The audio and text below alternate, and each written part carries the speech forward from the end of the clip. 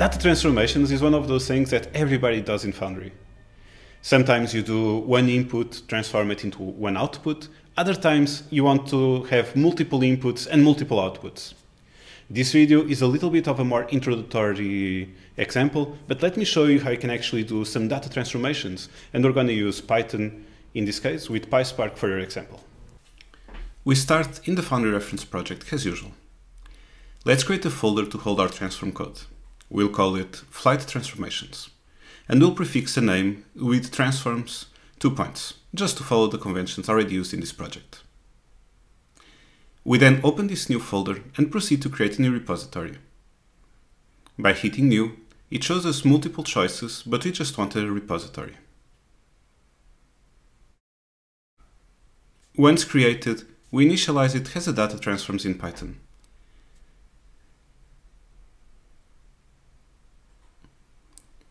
This will provide us with a bootstrapped Python repository containing a starter Python project. To create a new file, we can expand the folder structure, click on the three dots and hit New File. By adding a file name finished in .py, we'll get a template transform automatically, which we can just fill in. We now need a dataset to use as input to our transform. Let's go back to the folder structure, open the flight control system, and in the clean, we'll find some already clean datasets that we can use to manipulate inside transforms. Let's pick up this flight dataset and copy the path from the location on the right. We then paste the path into the input, change the variable name to flights, and we now have created a very simple data copy. The data on the input dataset will be copied to the data on the output. We call this an identity transform since it doesn't change anything. Previewing gives us 10,000 rows for fast computation. Building enables us to compute all the data and transfer, in this case, an identity copy from flights into the output. Here we can see that we have a total of 4.2 million rows. Once this is finished, we have now created a very simple transformation that picks up one dataset from flights and pastes it on the output. Let's also add some PySpark code. The, when you use transform underscore df, you get a data frame on your compute function. You can call directly PySpark code from, for it. Here, we create simple PySpark code just to create a new column. The new column called date that appends the three columns year, month, and day now shows up on the right of your preview. Since we built previously, we can now go to the data lineage and see that we have a small, very simple pipeline. The simple transform has a parent and that parent has the raw data.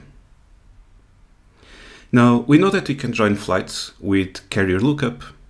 So let's open the column, let's open the dataset and see if the, the, the column that we want to join, which is carrier code, is actually unique so that we don't get a join explosion. We click on the column header and we get a histogram.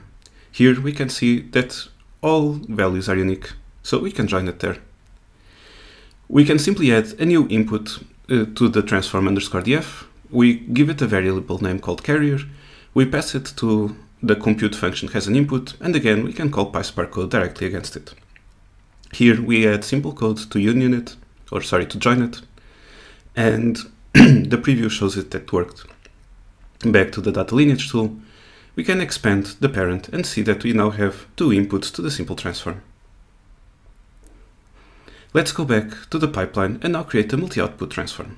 For this, we can no longer use transform underscore df, and we must now use just transform.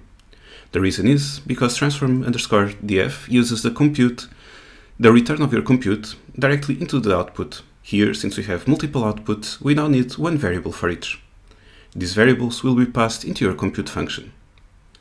The data frames on your inputs must now be extracted from flight and carrier.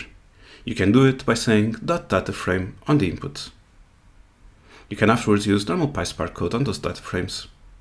For the outputs, however, instead of returning, you need to write the data frame into the output. Here we say output.write data frame flights and carrier. Once you build it, you'll get a multi-output transform. Oops.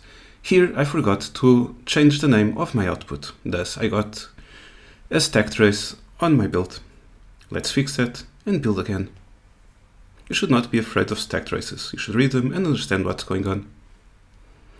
Here we can see that the multi-output succeeded. On the bottom left you'll see the two output datasets.